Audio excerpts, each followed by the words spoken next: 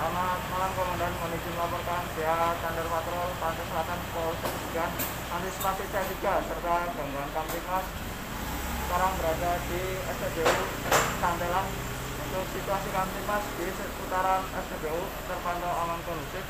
Untuk 815 Grimis. Demikian dilaporkan pihak Standar Patrol Pantai Selatan Polsek Segan selamat malam.